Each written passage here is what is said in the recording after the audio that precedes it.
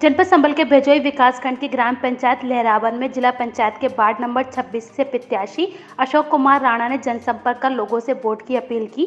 जैसे जैसे त्रिस्तरीय पंचायत चुनाव करीब आ रहे हैं, प्रत्याशियों ने अपना प्रचार प्रसार तेज कर दिया है। इसी के तहत जनपद संबल के जिला मुख्यालय भजोई विकासखंड की ग्राम पंचायत लहरावन में जिला पंचायत के वार्ड नंबर छब्बीस से सपा समर्थित प्रत्याशी अशोक कुमार राणा ने जनसंपर्क कर लोगों से वोट की अपील की।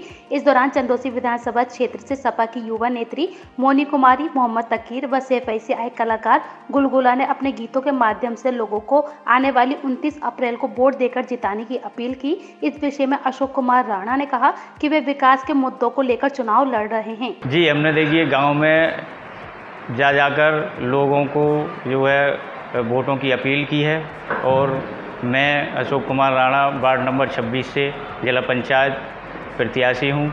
सापा समर्थित हूँ।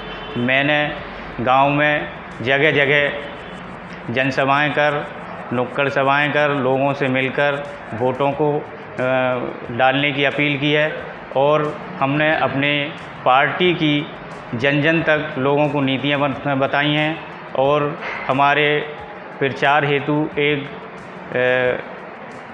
सैफई से आए गोलू ढुलकिया जी। उन्होंने हमारे साथ लोगों से वोटों की अपील की और सापा पार्टी की नीतियाँ गिनाई और ये बताया कि आज की सरकार में लोग, किसान, मजदूर कितने परेशान हैं, क्या हालत हो रखी है, देश की, हमारे नौजवान, हमारी मजदूर, किसान भाई इस सरकार में बहुत परेशान हैं और मैं यही अपील करता हूँ लोगों से और लोगों से भी अपील की है कि सन 2022 में आने वाली सरकार अखिलेश की बनेगी।